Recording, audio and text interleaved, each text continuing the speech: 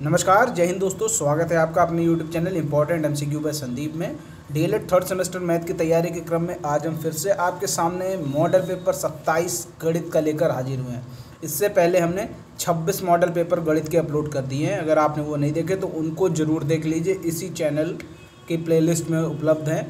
आप आराम से उस वीडियोज़ को बहुत अच्छे से देखिए एक एक क्वेश्चन समझिए, ताकि आपका कोई भी क्वेश्चन परीक्षा में गलत ना हो जाए।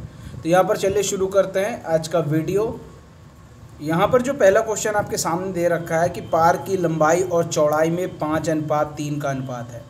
यदि लंबाई पंचानवे मीटर है तो चौड़ाई ज्ञात करो। ध्यान से देखो, लंबाई और चौड़ाई।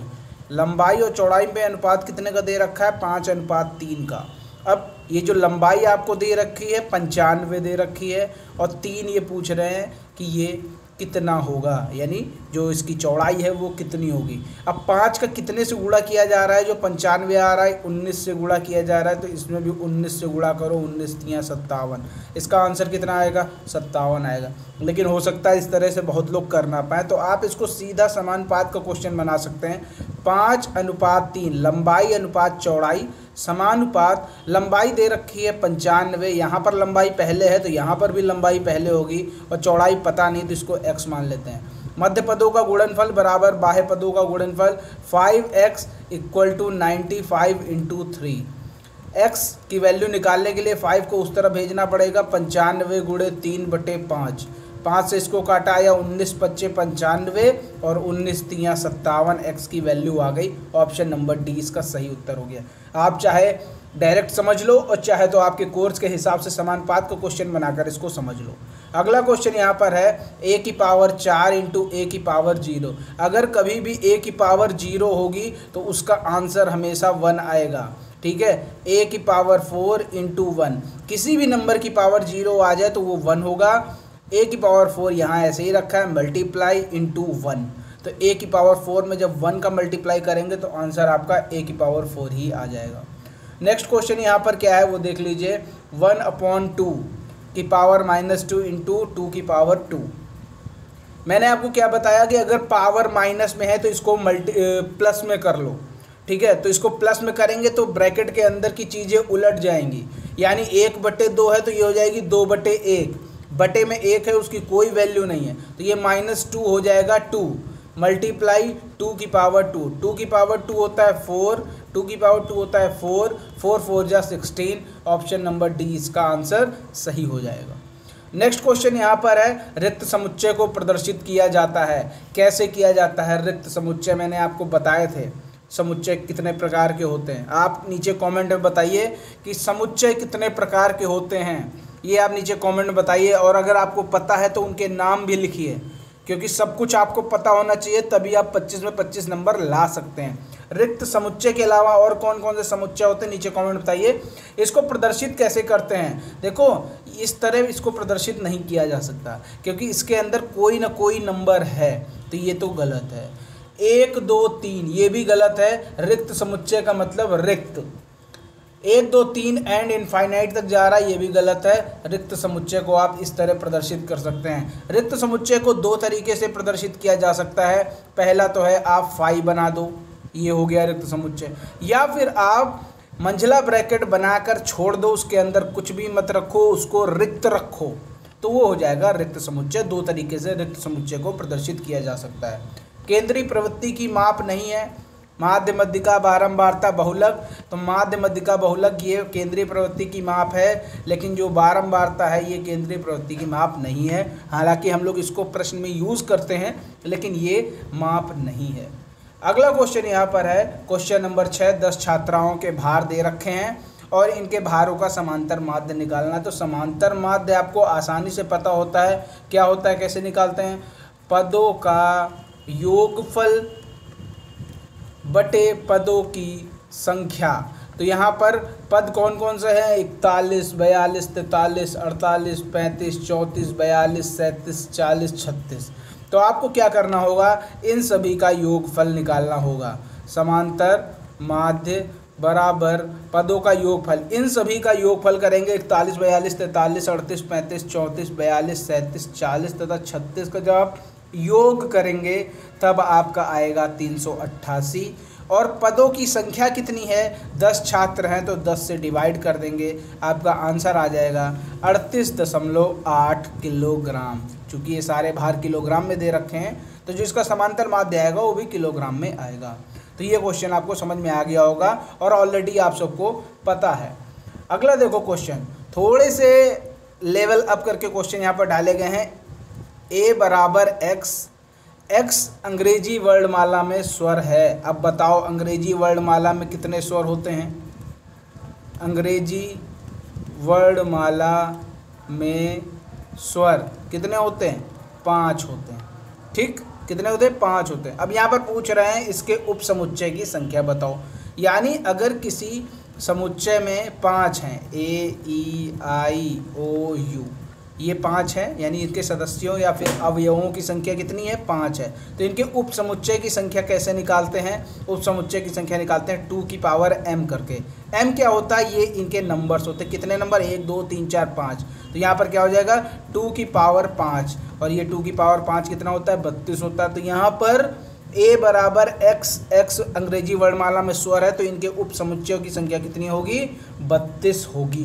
क्लियर हो गई बात? इसमें कोई डाउट नहीं होना चाहिए। नेक्स्ट क्वेश्चन देखो, त्रिभुज का क्षेत्रफल। याद करना है, आधार छः ऊंचाई पंद्रह दे रखी है तो त्रिभुज का क्षेत्रफल। आप सभी को पता होना चाहिए, रटा होना चाहिए, एक बटे दो आधार इंटू ऊंचाई। तो एक बटे दो आधार कितना है? छः और ऊंचाई कितनी है? पंद्रह है। तो इसको दो तियाँ छः पंद्रह तियाँ पैंतालीस वर्ग मीटर। क्षेत्रफल है तो वर्ग मीटर में ही आएगा, ये चीज़ आपको पता होगी। क्लियर हो गई बात? इन सब क्वेश्चन में कोई डाउट तो नहीं है। चलो नेक्स्ट क्वेश्चन देखते हैं क्वेश्चन नंबर नौ। दो बटे तीन की पावर दो, चार बटे नौ की पावर दो दो बटे तीन की पावर माइनस चार। देखो, यहाँ दो बटे तीन है, यहाँ दो बटे तीन है, यहाँ चार बटे नौ है। तो क्या हम इस चार बटे नौ को दो बटे तीन के फॉर्म में लिख सकते हैं? बिल्कुल लिख सकते हैं। चार बटे नौ को हम लोग दो बटे तीन की पावर दो लिख सकते हैं, क्योंकि दो दूना चार हो जाएगा और तीन तिया नौ हो जाएगा, यानी दो का स्क्वायर चार और तीन का स्क्वायर नौ। तो इस तरह हम इसको दो बटे तीन स्क्वायर के फॉर्म में लिख सकते हैं। देखिए कैसे लिखेंगे, ये दो बटे तीन स्क्वायर इंटू दो बटे तीन स्क्वायर और इसके ऊपर ये वाला स्क्वायर मल्टीप्लाई दो बटे तीन की पावर माइनस चार, ठीक है? अब आपको एक चीज़ तो मालूम होगी अगर बेस वैल्यू समान है सभी की तो इनकी पावर क्या होती हैं? वो आपस में जुड़ जाती हैं। ठीक है? अगर बीच में गुड़ा लगा हुआ, अगर यहाँ पर ये डिवाइड लगा हो तो पावर घट जाती हैं। ये चीज़ आपको पता होगी। तो यहाँ पर देखो, दो बट्टे तीन की पावर दो दो बट्टे तीन की पावर ये पावर के ऊपर पावर लग गए तो दो दूना चार हो जाएगा। ये मल्टीप्लाई हो जाते हैं अगर पावर के ऊपर पावर लग जाती है। दो बट्टे तीन की पावर माइनस चार। अब यहाँ पर देखो क्या होगा? दो बट्टे तीन ये दो प्लस चार और ये माइनस में है तो ये माइनस। तो चार चार कट जाएँगे क्योंकि ये प्लस है, ये माइनस है, बचेगा दो। तो दो बटे तीन की पावर दो, ये कितना हो जाएगा? दो का स्क्वायर करो चार और तीन का स्क्वायर करोगे, नौ आ जाएगा, चार बटे नौ यहाँ पर। इसका आंसर आ गया। बड़ी आसानी से सब कुछ होगा, बस केवल आप लेवल बाय लेवल काम करते जाओ, आपके सारे आंसर्स आते जाएँगे। नेक्स्ट क्वेश्चन है यहाँ पर, किस धन का 10 परसेंट वार्षिक ब्याज की दर से एक वर्ष का साधारण ब्याज एक हज़ार होगा? तो यहाँ पर सीधा आपको वही फॉर्मूला लगा देना है। सिंपल इंटरेस्ट यानी साधारण ब्याज बराबर P R T upon hundred ठीक है? तो अब यहाँ पर आपको जो वैल्यूज़ दे रखी हैं, वो वैल्यूज़ दे रख, जो एस आई है, वो आपको एक हज़ार दे रखा है। पी यानी मूलधन आपको निकालना है। रेट आपका दस परसेंट दे रखा है, समय एक वर्ष दे रखा है, बटे सौ कर दो। ठीक है? अब दस दहम सौ। अब ये जो दस है, ये डिवाइड में है, बराबर के उस तरफ़ जाएगा तो मल्टीप्लाई में हो जाएगा तो पी की वैल्यू आ जाएगी one thousand into ten P की वैल्यू आपकी आ गई टेन थाउज़ेंड रुपीज़ यानी कुल मिलाकर हम ये कह सकते हैं पी यानी मूलधन आपका इस सवाल में दस हज़ार रुपये है। कि लिखा है, किस धन का दस परसेंट वार्षिक ब्याज की दर से एक वर्ष का साधारण ब्याज एक हज़ार होगा तो वो जो अमाउंट है, वो है दस हज़ार। नेक्स्ट क्वेश्चन पर आते हैं क्वेश्चन नंबर ग्यारह। यहाँ पर एक वृत्त दे रखा है और बोल रहे हैं ए डी बी की वैल्यू बताओ, यानी इसकी कोड की माप आपको बतानी है। तो आप यहाँ देख सकते हैं, ये ए बी ये एक चाप है और इसी चाप पर ये वाला कोड बना है और इसी चाप पर ये वाला कोड बना है। तो मैंने आपको वृत्त वाले वीडियो में बताया था कि जब किसी चाप पर दो कोण बनते हैं और उनका शीर्ष परिधि को टच करता है तो वो दोनों कोण आपस में बराबर होते हैं। अगर ये सत्ताईस है तो ये भी आपका क्या हो जाएगा? सत्ताईस डिग्री हो जाएगा। सारे कॉन्सेप्ट समझ के चलिए, क्योंकि कोई भी कॉन्सेप्ट आपकी परीक्षा में पूछा जा सकता है। इतने मैंने आपको मॉडल पेपर करा दिए। अगर आपने सारे मॉडल पेपर देख लिए ना तो निश्चित है, आप गांठ बाँध के रख लो 25 में 25 नंबर लाने से कोई नहीं रोक सकता। मैं पिछले तीन साल से वीडियो बना रहा हूँ और मोस्टली लोगों को 25 में 25 नंबर दिलाता हूँ। अगर वो पूरे ध्यान से, पूरे मनोयोग से वीडियो देखें और समझ जाएँ। क्योंकि इन्हीं वीडियोस के जो क्वेश्चन है, इन्हीं क्वेश्चन में से कोई ना कोई क्वेश्चन उठाकर आपकी परीक्षा में आ जाता है। क्योंकि मोस्टली क्वेश्चन तो मैं पीएनपी की बुक से ही कराता हूँ। तो ये सारे क्वेश्चन आपकी परीक्षा में आने की संभावना रखते हैं, इसीलिए सारे क्वेश्चन ध्यान से देखते रहिए। अगला क्वेश्चन यहाँ पर है, एक मैदान की लंबाई 30 मीटर और चौड़ाई 10 मीटर है। यदि मैदान पर 40 मिलीमीटर वर्षा हो तो मैदान पर कुल कितने लीटर पानी गिरा? अब यहाँ पर बहुत लोग कन्फ्यूज़ जाएँगे, भाई पूछ रहे हो लीटर में, और यहाँ पर इकाइयाँ दे रहे हो पच, मीटर मीटर, मिलीमीटर। तो यहाँ पर आपको मैंने पिछले दो तीन वीडियो में समझाया हुआ है कि मीटर और लीटर का रिलेशन होता है। मीटर लीटर का रिलेशन होता है। कौन सा रिलेशन होता है? देखो, ये जो होता है, ये मीटर, ये घन मीटर होता है। अगर हम बात करें एक घन मीटर की, एक घन मीटर में एक हज़ार लीटर पानी मतलब एक घन मीटर बराबर एक हज़ार लीटर के होता है। ठीक है? इसीलिए क्वेश्चन में यहाँ पर लीटर में आंसर पूछा जा रहा है और सारी इकाइयाँ आपको मीटर मिलीमीटर में दे रखी हैं। अब यहाँ पर सबसे पहले हमें क्या निकालना होगा? सबसे पहले हमें निकालना होगा आयतन। यानी उस मैदान पर जब पानी गिरा तो वो जो पानी भरा हुआ है, उसको लेकर उस मैदान का आयतन क्या बन रहा है? अब अगर किसी मैदान को हम देखें तो उसमें लंबाई होगी और चौड़ाई होगी। क्लियर अब लेकिन अगर उसमें पानी भर जाएगा तो पानी की कुछ ऊंचाई बनेगी जाके। तो ये जो 40 मीटर है 40 मिलीमीटर है, ये एक तरीके से मैदान की ऊंचाई मानी जाएगी। क्योंकि पानी भर चुका है तो जो पानी की ऊंचाई है, वो एक तरीके से मैदान का आयतन बनाएगी। तो ये लंबाई हो गई, ये चौड़ाई हो गई और ये ऊंचाई हो गई। ध्यान से इसको समझना। आयतन का फॉर्मूला क्या होता है, आप सभी को अच्छे से मालूम है। लंबाई गुड़े चौड़ाई गुड़े ऊंचाई। तो ये तीस मीटर लंबाई, चौड़ाई दस मीटर और आपकी जो ऊंचाई है, वो मिलीमीटर में दे रखी है। ध्यान से समझना कि एक मीटर में होता है एक हज़ार मिलीमीटर। क्लियर हो गई बात?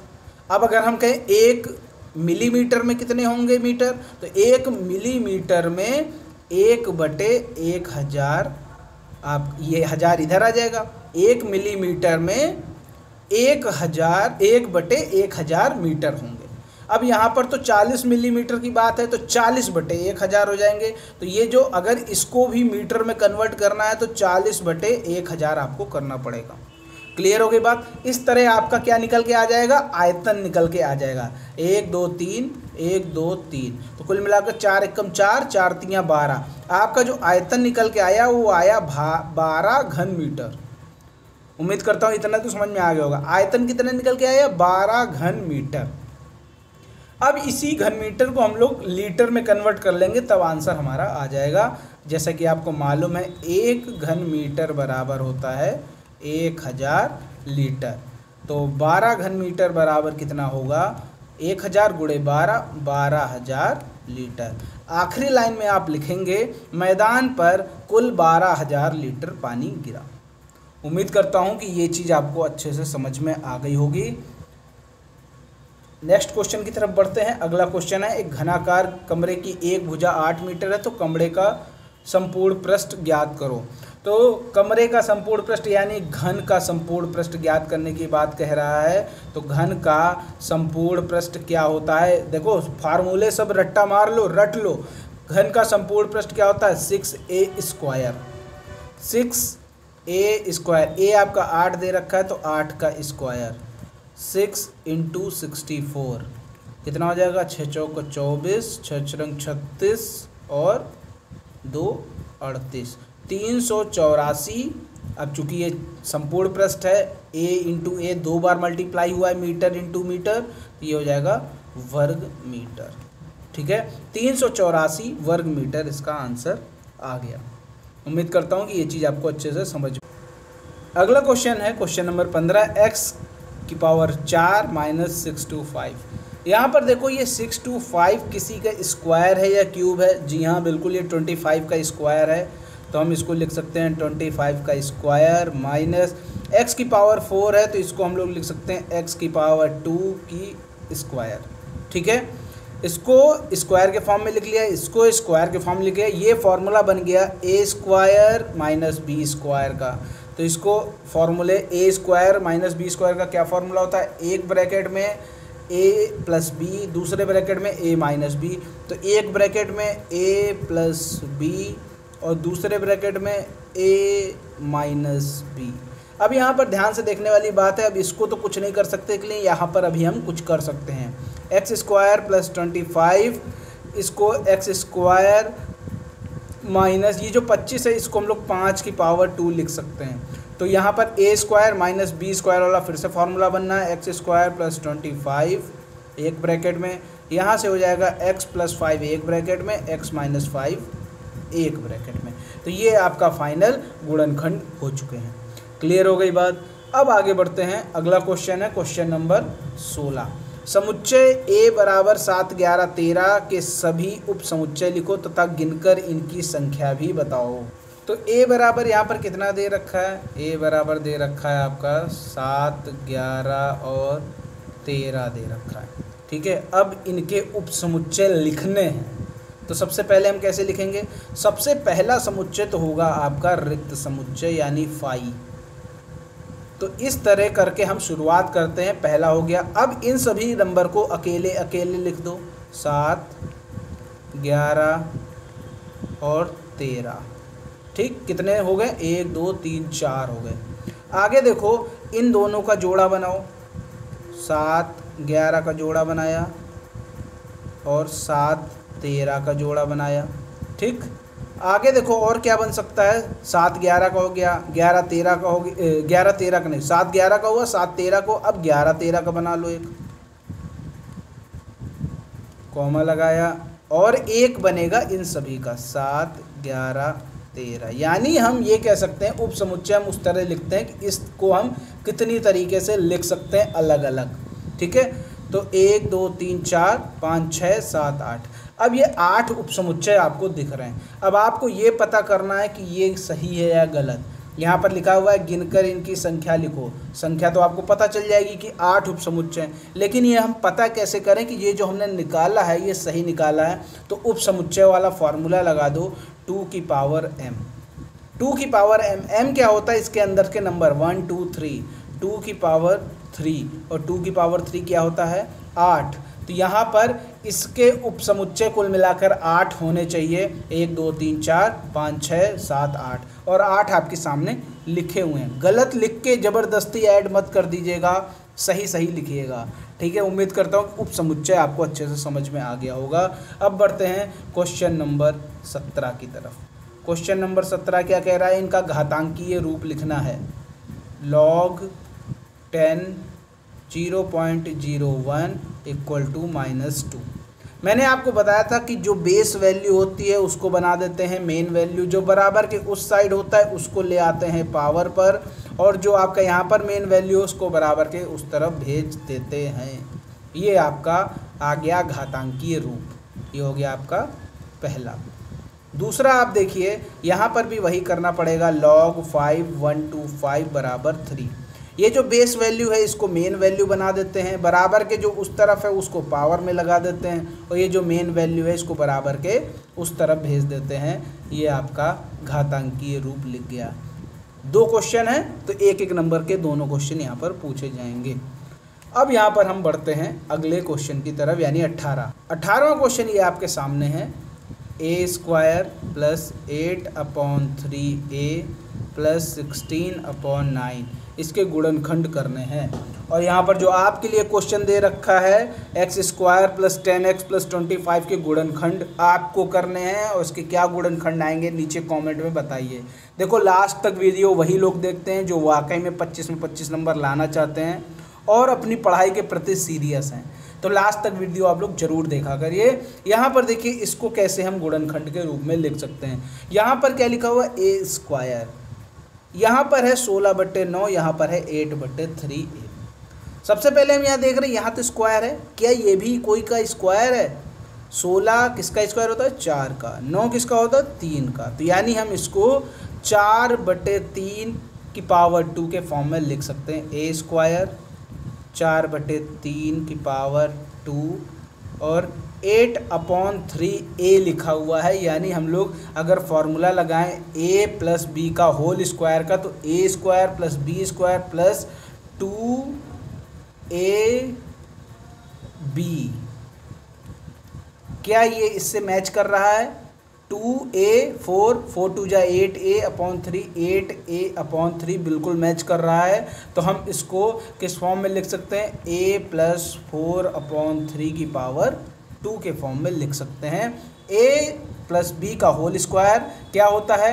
A square plus B square plus two A B clear है बात? अब इसको ये देखिए पावर टू में है तो इसको आप अलग अलग कर लो और यही आपके क्या हो जाएँगे? गुणनखंड हो जाएँगे। इस तरह ये क्वेश्चन आपका कंप्लीट हुआ, आप इसमें सब में बराबर लगा दीजिएगा तो इम्प्रेशन ज़्यादा अच्छा पड़ेगा। और अब ये आपके लिए क्वेश्चन दे रखा है कि ये क्वेश्चन क्या है आपके सामने दे रखा है X square plus ten X plus twenty five इसके गुणनखंड आपको करना है और नीचे कमेंट में बताना है। उम्मीद करता हूँ ये वीडियो आपको पसंद आया होगा। वीडियो पसंद आया तो वीडियो को लाइक करें शेयर करें और चैनल को अगर सब्सक्राइब नहीं किया तो चैनल को सब्सक्राइब कर लो। बिना सब्सक्राइब किए जाते हो अच्छा नहीं लगता है। वीडियो को लाइक ज़रूर करो। मिलते हैं अगले वीडियो में ऐसे ही वैल्यूएबल कंटेंट के साथ। जय हिंद, जय भारत।